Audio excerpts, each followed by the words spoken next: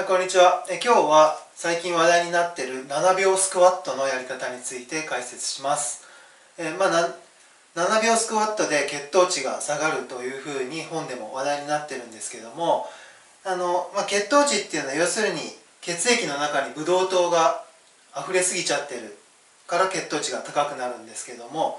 まあ、ブドウ糖っていうのは要するにエネルギー源ですからそのエネルギーを消費する筋肉を活性化して増やして、えー、血糖値を高くなりすぎないようにしましょうということですから、まあ、そういう点で言うとあのブドウ糖をたくさん消費するっていう運動はあのウォーキングとかみたいな有酸素運動よりも、えー、筋トレの方が有効になります。でスクワットっていうのはこのお尻太ももの前太ももの裏で腹筋、えー、ふくらはぎまで使えますからこういう糖を消費しやすい筋肉を一気に鍛えることができるすごく有効な運動なんですね。それを7秒かけてゆっくり行うことで、まあ、女性の方はもちろん初心者の方も高齢者の方も、えー、無理なく行うことができます。はいでは具体的に7秒スクワットをやっていきます。まず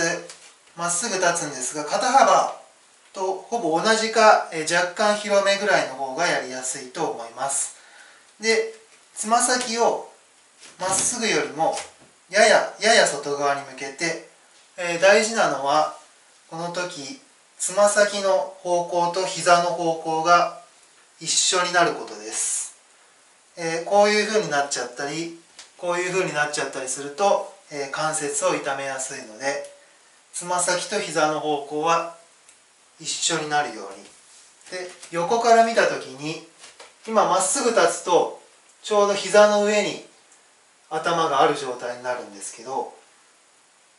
この膝の上に頭がある状態をキープしたまましゃがんでいきます。つまりお尻をこう後ろに突き出してしゃがんでいきます、えー、一番悪い方法がこうやって頭が前に来ちゃう。もしもしくはこう頭を後ろにやりすぎるとこうしゃがめなくて後ろに倒れちゃうので膝の上に頭が来るような状態をキープしたままこうしゃがんでいきます。で今回7秒スクワットですから5秒かけてしゃがんで2秒下でキープして1拍でシュッと立ち上がる。1234567これです。えー、筋肉っていうのはこうやって下にここの筋肉が今伸びて体を支えてるんですけどこういう時が一番使われます、えー、体を持ち上げるのにはここが収縮して持ち上げてるんですけど今これ体筋肉ここの筋肉が伸びながら体を支えてる。えこの時が一番筋肉が使われるのでここにゆっくり時間をかけて最後下で2秒キープも加えます。1 2 3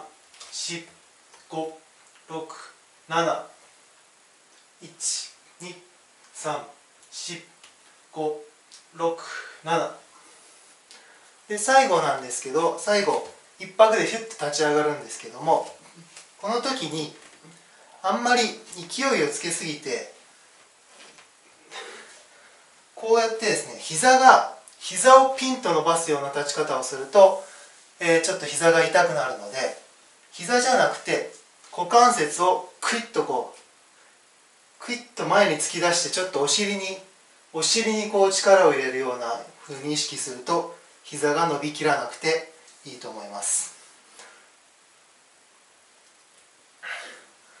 えー、ここから股関節をぐいっと前に押し出していく。こうですね。こう。最後のこのクイこのクイがここが大事なんですよ。ここでお尻にキュッと力を入れる。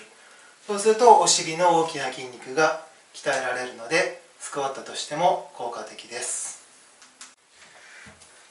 はい、普通のスクワットがなかなか回数できない10回以下しかできないという場合は膝をつ、椅子を使ってちょっと補助を使った方がやりやすいですね、え椅子を補助にして同じように7秒スクワット。え1234567こういう感じですね。1234567で数ええー、数を数えてるのはあのこれ呼吸を止めないっていう意味でもあるんですね。筋トレ中に呼吸止めちゃうとちょっと血圧上がったりしてあんまり良くないので、えー、声に出して1234567と数えることで、えー、呼吸を止めない効果があります。で1セット10回ぐらいやれば十分ですね。これ1234567って声出してると今何回か忘れちゃうんですけれどもあんまり1セット10回とかって、えー、数にこだわりすぎるよりはちょっといい感じかなっていうぐらいまで、えー、やっていただく方が気軽に続けやすいと思いますね。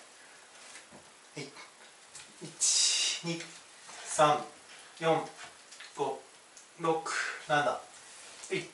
最後のクイッが大事です。まあ、こういった感じで、えー、1セットを、まあ、10回から20回ぐらいそれを、まあ、1日5分週に2回ぐらいでもやっていただければあの筋力アップとしてはあの十分な効果もありますので是非皆さんもやってみてください。